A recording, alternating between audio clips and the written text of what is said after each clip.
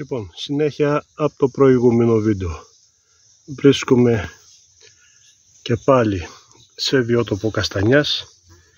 Μπροστά μου έχω ένα καρπόσωμα από το είδος Μπαουράνγκια Εμιλιόρου. Παλιότερη ονομασία Μπολέτους Εμίλη.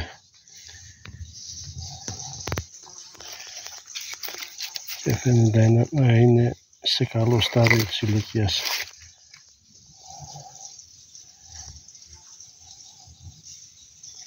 Ωραίο. Αν και είναι ε, φαγωμένο από τα σελιγκάρια. Παρόλα αυτά βρίσκεται ε, σε σχετικά νεαρό στάδιο της ηλικίας.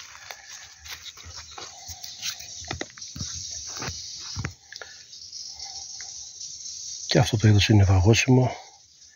Δεν είναι κάτι το ιδιαίτερο απλά φαγόσιμο. Και βέβαια σπάνιο. Είναι η δεύτερη φορά που το συναντάω. Λοιπόν πολύ όμορφο.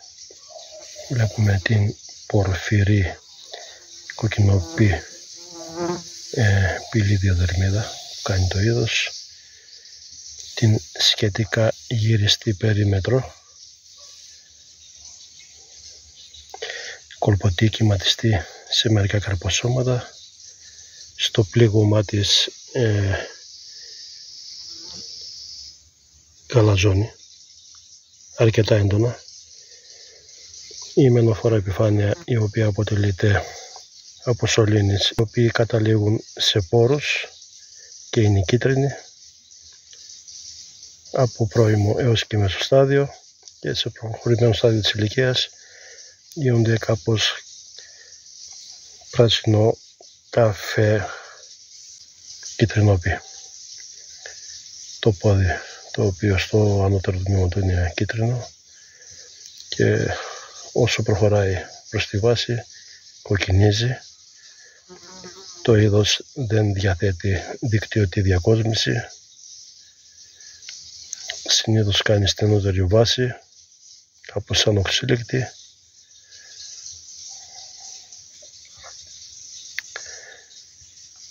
Σάρκα κεντρινοπή η οποία γαλαζώνει σχετικά έντονα στο κόψιμο με ευχάριστη μυρωδιά και κάπως αμυδρή γεύση. Όπως είπα πρόκειται για αρκετά ε, σπάνιο είδος.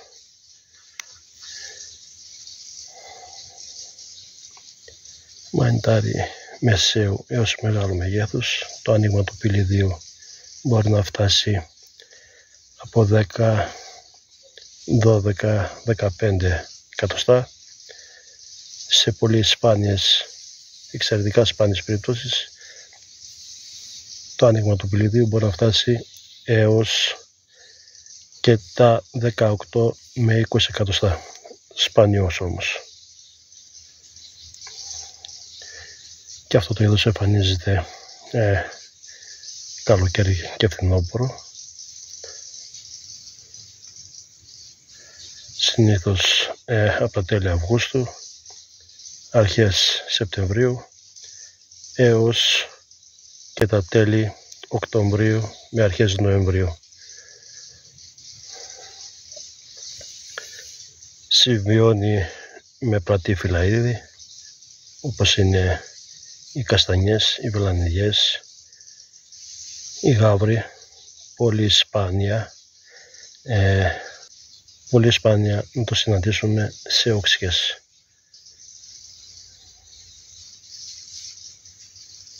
Paurangia Emiliorum ή Boletus Emili.